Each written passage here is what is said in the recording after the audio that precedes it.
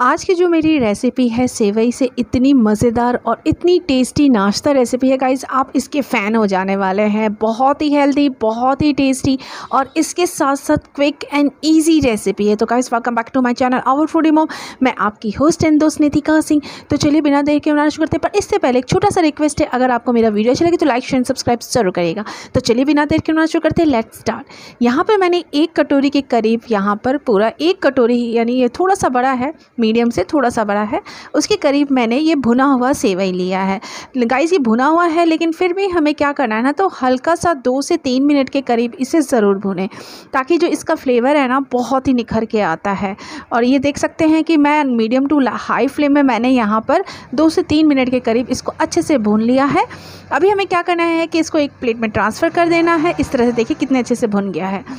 अब हमें क्या करना है कि उसी पैन में मैंने यहाँ पर एक चम्मच से दो चम्मच के करीब हमें ऑयल ले लेना है। आप यहाँ ये जो रेसिपी है डायरेक्टली घी में भी बना सकते हैं, काफ़ी अच्छा बनता है। और यहाँ पर एक चम्मच के करीब मैं काला सरसों डाल दूँगी, एक चम्मच के करीब उड़द दाल और यहाँ पर चना दाल डाल दें, काफ़ी अच्छा फ्लेवर आता है, ज़रूर डालें। यहाँ मैंने काजू लिया है, जिसको मैंने बीच बीच पार्ट पार्ट्स में अलग कर दिया है, इसको भी डाल दें। ये मैंने लगभग 10 से 12 काजू लिया है, इसको भी ज़रूर डालें। अगर आप काजू नहीं यूज़ करना चाहते, इसकी जगह आप कच्चे मूंगफली का यूज़ कर सकते हैं।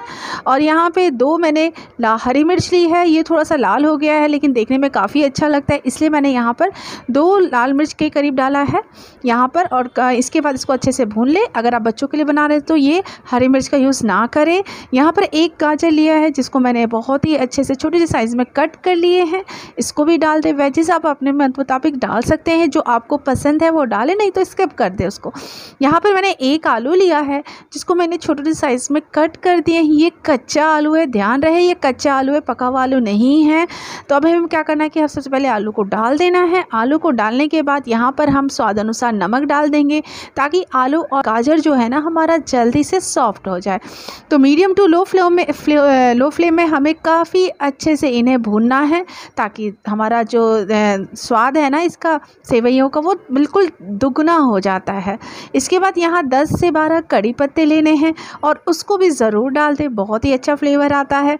मीडियम टू लो फ्लेम में हमें काफ़ी अच्छे से इसे कम से कम 90 परसेंट हमें ये आलू को कुक करना है।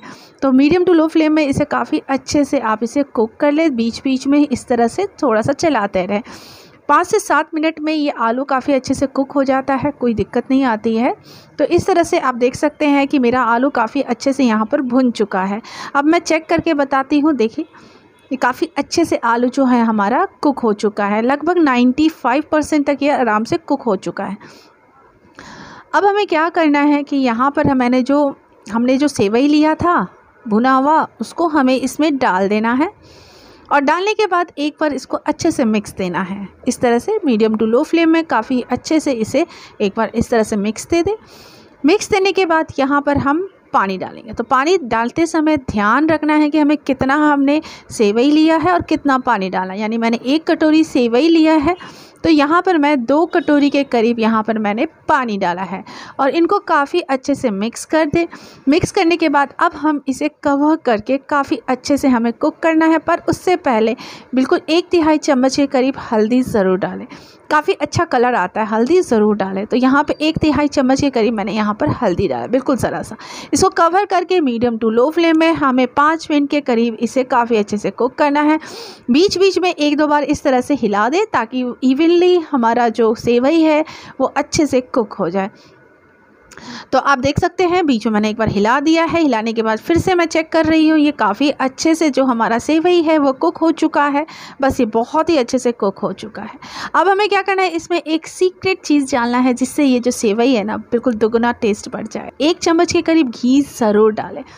बहुत ही अच्छा टेस्ट आता है। इसका जो टेस्ट है इन्हेंस होता है और जो सेवइयों का जो कलर है, जो देखने में बहुत ही खूबसूरत लगता है। एकदम चमकीला सा हमारा जो सेवई है बन के तैयार हो। जाए दो मिनट के करीब घी डाल के इसको छोड़ दें ताकि अच्छे से इसमें सब में फ्लेवर आ जाए।